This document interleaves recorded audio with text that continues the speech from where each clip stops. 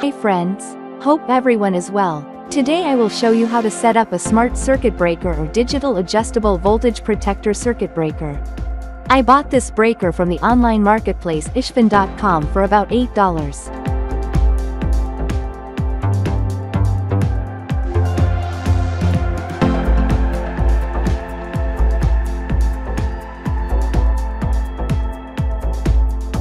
Let's take it out of the box. It comes with a practical manual and warranty card.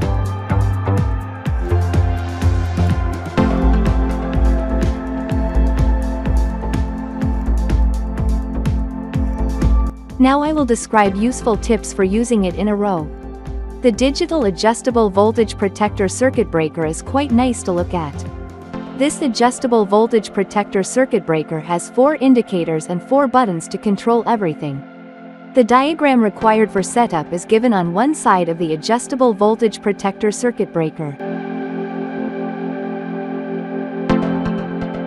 Now I will show you how to set up this adjustable voltage protector circuit breaker.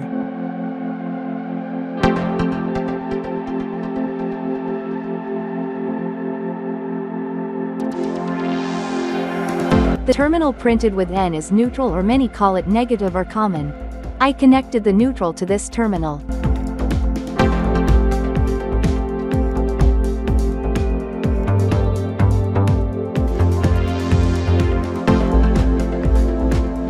I connected the phase or positive to the other pole or terminal.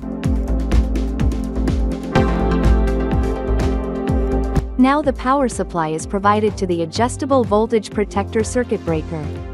We can see a great display on the adjustable voltage protector circuit breaker. Here the current ampere is 0 and the current is 233 volts. When the power button of the adjustable voltage protector circuit breaker is pressed, it goes into off mode and in this state the electricity voltage is shown but the electricity supply is stopped.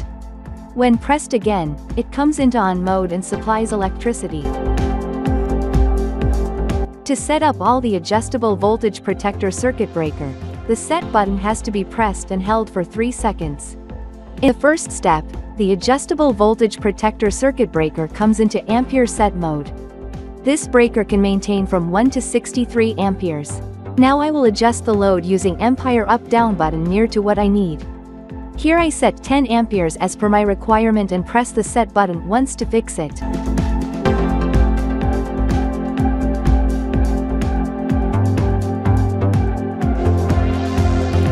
Now in the second step, the overcurrent waiting time mode will show, which can be delayed from 2 to 600 seconds.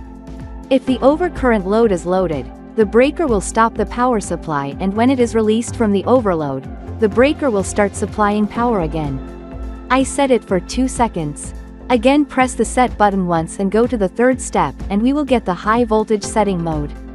Here, we have to set up according to the maximum voltage that the practical equipment can supply without causing any damage. I set the maximum voltage of 245 volts for the electrical equipment used in my area. Again, if we press the set button once and go to the fourth step, we will get the low voltage adjustment mode. I set the minimum voltage of 180 volts for the electrical equipment used in my area. Again, if we press the set button once and go to the fifth step, we will get the low voltage waiting time adjustment mode. Here, if the voltage goes below the low mode or it will trip and stop the power supply.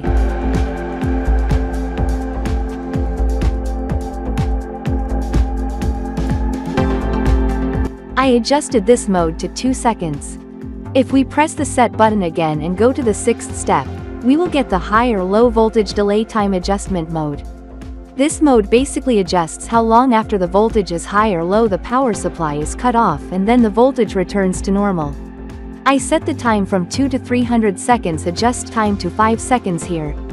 If we press the set button again and go to the 7th step, we will get the error recovery delay time adjustment mode. Error recovery delay time refers to the amount of time a system waits before attempting to recover from an error essentially a pause or delay implemented to allow for potential issues to resolve themselves or to prevent overwhelming retry attempts in case of temporary glitches.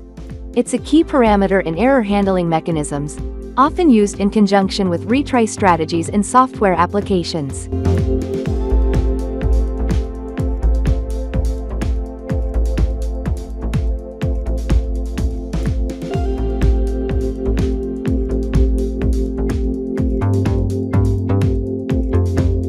Adjusted it for 30 seconds here.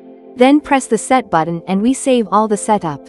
This is how to set up a smart circuit breaker or digital adjustable voltage protector circuit breaker. I now took a hot gun to test the breaker's functionality.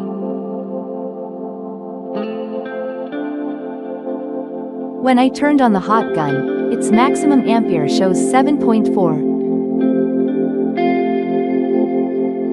I set the breaker to 6 amperes to check its functionality and left all other settings unchanged.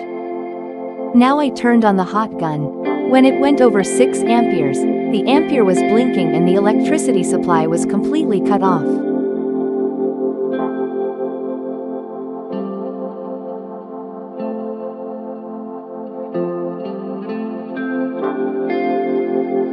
Now to reactivate the breaker, Press the power button once to turn it off and press it again to turn it on. How the video is and how to make it better, you can write your opinion in the comment section. I hope you liked this video. If you liked this video, don't forget to press like button and share to your friends. Stay tuned by subscribing to my channel and presses the bell button to get the next video.